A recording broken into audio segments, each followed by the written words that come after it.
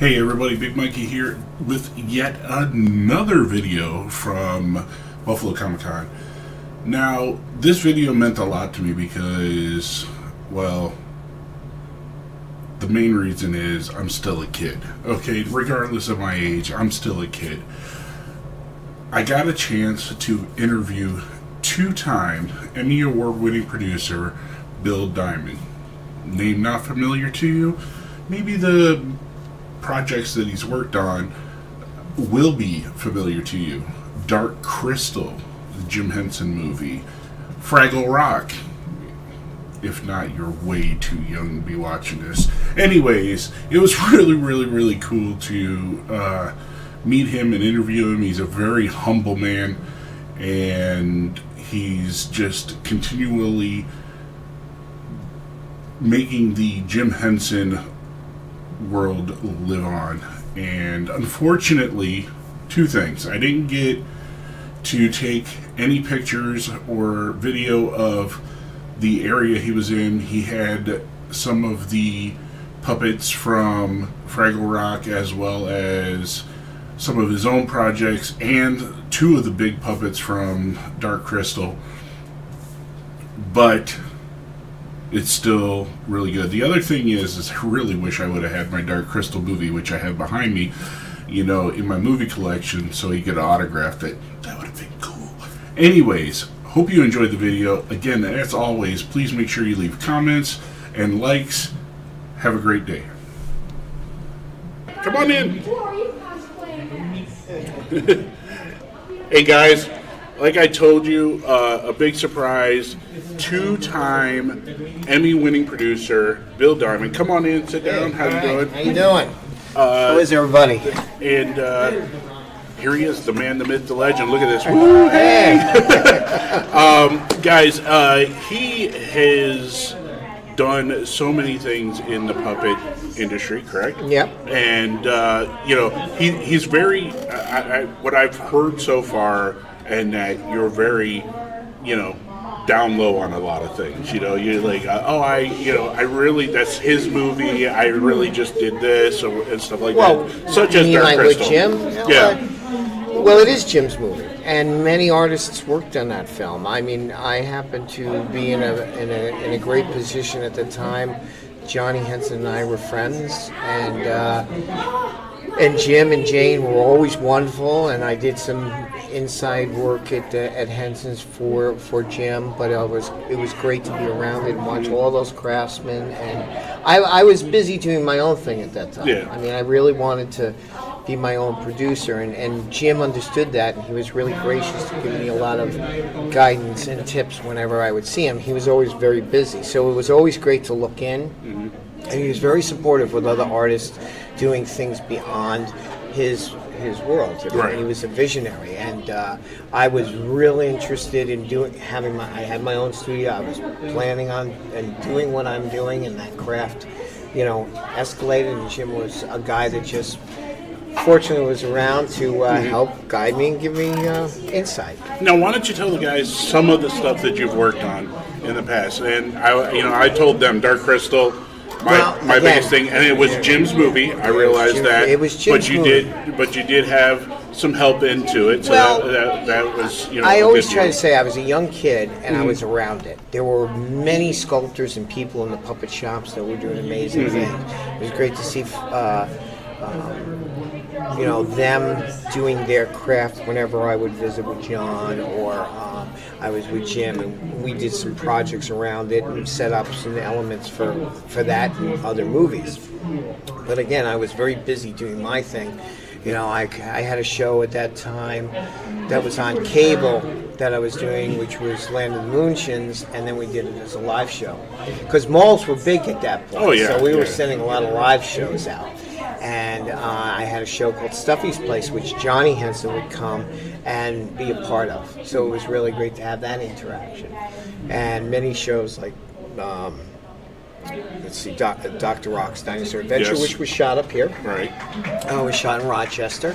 Uh, I did a lot of things up here in the Buffalo area. Uh, I've had stuffy here for when we did um, Festival Lights in Niagara. Yes, So that's right, and I and I remember those Yeah, so- those up there. Um, Fraggle Rock too, right? You got Well, Fraggle of- Rock, and a little bit yeah, of and a little bit of Fraggle Rock. I mean, the great thing about Fraggle Rock is that again they had wonderful artists working on that show, and Michael Frith, Yes. who is the conceptual artist for Jim, um, was always gracious to show what we were go- what was going on, and we have one of the original prototype Fraggles here, and Michael was wonderful, and he he. Uh, was a, a, a great inspiration to what I do now, and all the artists that were working down there. So it gave me an insight to, um, you know, be involved. So Fraggle Rock was a nice thing, and we like showing that off because it was a, a real stepping stone, one of my favorite. You know, they shot it here. They shot in Toronto. Right. Um, I had nothing to do with on set, but uh, you know, it it was a great inspiration for a young person. And you know, here you're walking around, you see Jim doing his thing, you see all the artists doing their thing, and Johnny and I are coming in and out doing what we were doing, and there it is. There you know, go. it's just around. Now, do you have anything like in the works for the future? Yes, I mean, we have. Well, we're always doing something for many other people. We're creating uh, a bear named Cuz. Okay. uh, from a children's book done by a very famous artist named um, Robert Aragon. Okay, so we're bringing Robert's little cuz together, and them at shows from the books.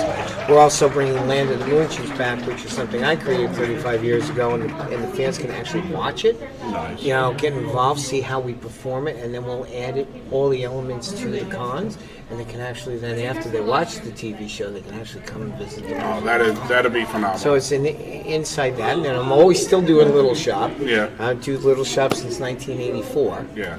That's another thing, guys. eh, If you've never seen any of these movies eh, and, and shows, you need to get away from your computer and go do something like that. Uh, Little Shop of Horrors. Uh, I'm huge fan. I've not only seen the actual stage show, but I've actually the, saw the the- was that the off Broadway one? The off Broadway one, Ah, and okay. uh, you know I've, I've gone. Uh, that's one of my favorites. well, it, there's a great history with that show.